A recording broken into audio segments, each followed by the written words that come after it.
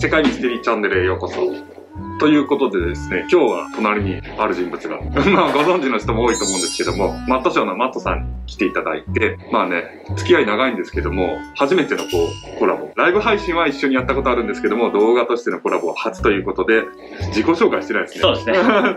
マットショーのマットです。お願いします。よろしくお願いします。じゃあ、ということで、えっと、今日はどんなことをお話ししていただけるでしょう？かはい。今回はですね、UFO を信仰するカルト教団が集団自殺したという話をさせていただきます。なかなか、ちょっと香ばしい、香ばしい話題ですね。そうですね。ははい。宗教団体の集団自殺というと、はい僕のチャンネルでもやったんですけど、人民寺事件というのもありましたけども、はい。今回ご紹介するのは、その名もヘブンズゲート。え日本語で天国の門という教団ですね。えーでは早速内容に入っていこうと思うんですけども、はいよろしくおはい、お願いします。簡単に言うと、はい。マーシャル・アップル・ホワイトとボニー・ネトルスという2人の人物によって1970年代に創設された UFO を信仰する宗教団体でアメリカ・カリフォルニア州サンディエゴを拠点としておりました、うん。創設の経緯はというと創設者のアップル・ホワイトは音楽的な才能を生かして俳優を目指していたのですが挫折してアラバマ大学で音楽を教えていたんですね。そこでは学生との同性愛スキャンダルで職を追われてノイローゼになってしまいます。もうここまででなかなかの経歴ですね。そうですね、すごいですよね。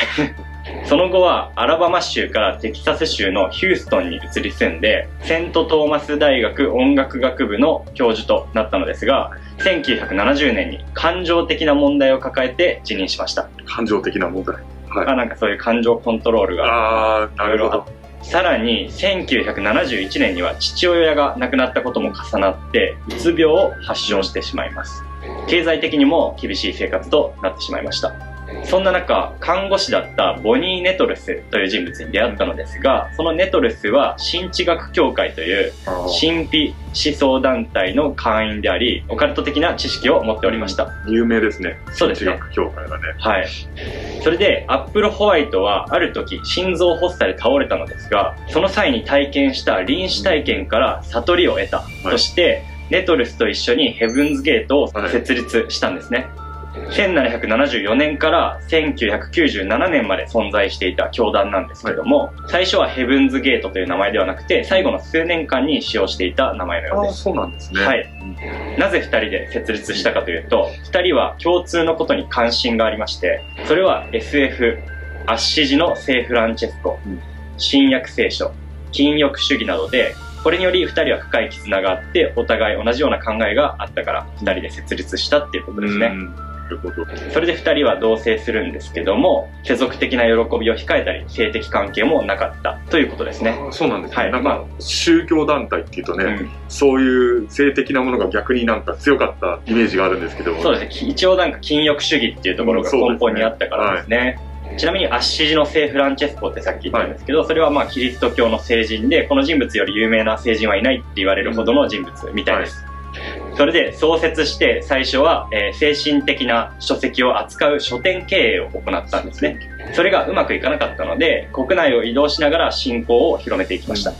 彼らは自分たちが新約聖書のヨハネの黙示録に記された二人の証人であるとして、うん自分たちが聖書の予言を成就させるために地球に使わされた選ばれし者で他のどの人間よりも知性が高いと信じていたんですね。で、それで二人はクルーと呼ぶ信者を探すためのイベントなども開催して、自分たちを信じる者たちをより高いレベルに導くことを約束し、当時作られたポスターには大きく UFO とかも書かれてたり、そういう団体だったんですね。で、1975年、アップルホワイトとネトレスがオレゴン州で行ったプレゼンテーションが大成功して、それで全米の注目を集めました。まあ、全米の注目を集めたって言っても、まあ、めちゃくちゃ知名度が高くなったっていうほどではないようですね。はい。なので、これ以降、まあ、70人ほどに増えた信者。まあ、そんなに多くはないですけど、ねはい。に求められたことは、永遠の幸福と平和を得て、苦しみから脱出するためには、あらゆるしがらみを捨てるということが求められたんですね。宗教っぽい。そうですね。宗教っぽい。ヘブンズゲートの考えとして、酒や性行為などの快楽だけではなく、家族や財産まで捨てて、初めて新しい世界と人間より上の進化レベルに到達できると信じていたからなんですね。物質的なものを捨てて、非常に禁欲的な生活を送った彼らは、アップルホワイトを含む6人の男性メンバーは、禁欲的な生活をしやすくするために、自ら進んで虚勢までしました。改めてこのヘブンズゲートの根本的な部分についての説明なんですけど、信者たち個人の霊的な成長を促して、より高次の段階に意識を進化させるために地球で学ぶ学生であると定義したんですね。それで魂の救済は一切の執着をも捨て去った、さらに高次元のネクストレベルに進むことにより、霊的な成長としてなされると考えていたということですね。それで、天の王国の宇宙人は地球人を見守っていて、真理を伝えるために2000年前にキリストを派遣したのですが、人間が真理を聞き入れないために何度目かの終末的危機が近づいてきているという考えでした。は簡単に言うと、天の王国は広大な宇宙のことで、はい宇宙人は天国の使いという考え方うですね。ん。まあでもなんか、なんとなく今でもありそうなね、こういうこと言ってる人いそうな感じではあります。そんな感じですね。はまあ、都市伝説的な話がどんどん広まってるから、結構多いような感じがします。はい。い。割とね、聞いてる人も、あれなんかちょっと聞いたことあるみたいな。はい。それで、えー人間の堕落は転落した宇宙人であるルシファーの影響もあり、現在の地球の宗教や理論を作り上げたのはルシファー教徒、ルシファーを信じている人たちによる悪の組織であると言います。その理由は人間を高次元のレベルに覚醒させないように、現代の宗教倫理を作り上げたと言っております。だからヘブンズゲートだけが正しく、他はルシファー教徒が作ったと言いたいんですね。そして、禁欲主義、神秘主義、SF、キリスト教が混ざり合った教義が一部の人々にとって魅力的で、最盛期には200人もの信者を抱えるほどにまで成長したのですが、その教義はますます奇抜なものへと変化していきます。まあなかなかでも、自分たちの信仰するもの以外を異教するっていうのはね、昔からね、宗教にあったことなんで、そのあたりもまあ投資はしているんでしょうね。そうですね。は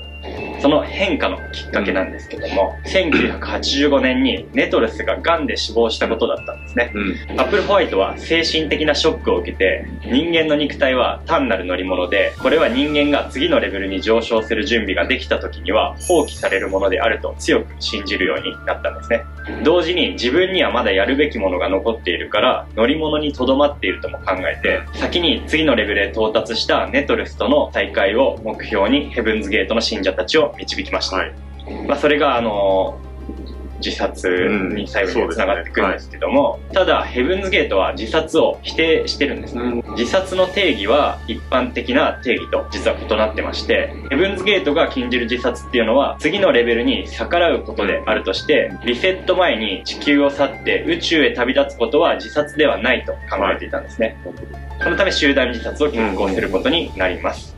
その集団自殺の経緯なんですけども、1996年、ヘールボップ彗星が地球に接近する際に、それが写った写真には、ヘールボップ彗星と共に謎の物体が写っているとの噂が広まったんですね。教団の教義によると、天の王国からの使いが現れ、地球はリセットされるというのがあるのですが、リセットとは完全な終末ではなく、新たな始まりという考えでした。信者らは写真に写った謎の物体を UFO と考えて天の王国から UFO が現れて信者が王国へ引き上げられる時が来たと考えました、信者らが生き残るためには霊的な存在となって地球から旅立つことが唯一の道だと考えたんですね。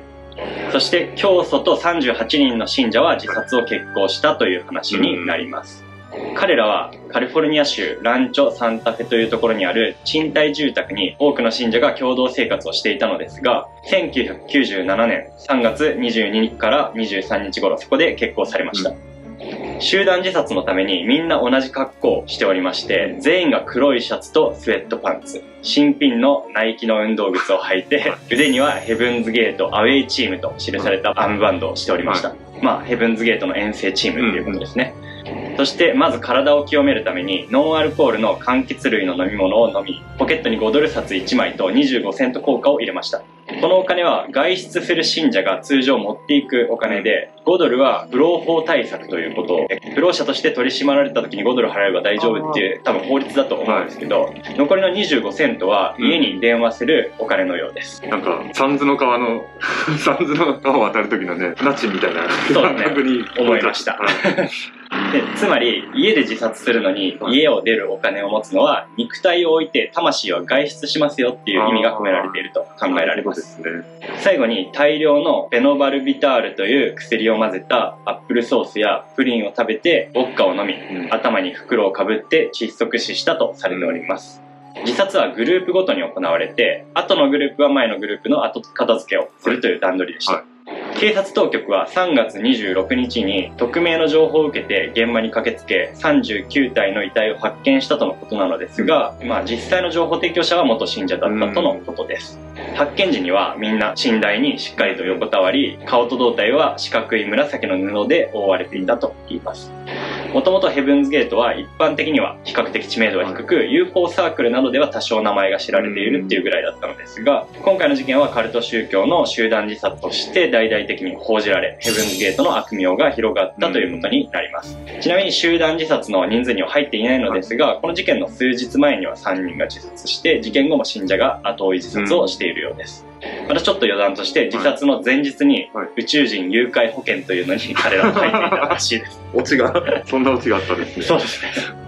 で、現在も存在するヘブンズゲートの支持者がいるらしいんですけど、うん自殺した39人と連絡を取り合っているとも言っており、はい将来そこから新しいヘブンズゲートが生まれるかもしれません。なるほどと。いうところで締めさせていただきます。まあなんか、結構途中突っ込みどころ多くて、はい笑っちゃうようなところは多かったんですけど、はいところどころに、えー今のこう SNS なんか見てると、似通ったとこって結構ありますね。あります。ね。だからまあ結局、カルト宗教ってこういう感じそうですね。テンプレみたいなものがあるのかもしれないけど、はい割とね、スピリチュアルにね、系統してたりとか、はいまあ UFO はまあ個人的にはね、宇宙人とか UFO は信じてる方なんですけども、はいスピリチュアルと UFO が混ざっちゃってるところとか、うんうんね、これを聞くと危ないなっていうのそうですね。あだから、あの、僕の方の動画で、あの、ミスちゃんに話してもらっはたところでも話したんですけども、証拠がないものをうん。思い込んでるっていう、そうですねこれがまあ典型ですよね。ね。まあね、なんて言うんだろう。なかなか、なかなかなっていうね。言葉を言葉を言葉をまあでもとにかく気をつけてほしいですね。本当に。今、こんな時代だからこそ。まあこの、今マットさんが話してくれたのは、自殺って言って、まあそこまで人にはまあ、まあ迷惑かけるんですけど、もちろん。家族とかね。まあそういうね、自分がの命を落とすっていう形で終わったんですけど、これがだからね、もしかしたらテロとかそうですね。ね、結びついちゃったらみんなそれ信じちゃってるんで、はいまあ日本でもありましたけど、はい昔ね、はい。地下鉄の事件とかが。そうですね。そういう方向性に危険性もかなりあるんでね、まあ、本当にこう、今回の動画見た人は、なんか思い当たる節があったら一回冷静に自分を見てみるっていうことも大事なんじゃないですかね。そうですね。はい。いや、なかなかね、面白い上に貴重な話、ありがとうございます。はい。ありがとうございます。こちらこそ。というわけで、えっと、マットさんのチャンネルの方ではまたちょっと違ったジャンルなんですけども、あの、私がお話をさせていただいているので、ぜひ見に行って、チャンネル登録などもしていただけると嬉しいです。はい。というわけで、します。はい。ごめんね、かぶっ というわけで、今回は、えっ、と、マット社のマットさんに来ていただきました。どうもありがとうございました。はい。ありがとうございました。それではまた次回の動画でお会いしましょう。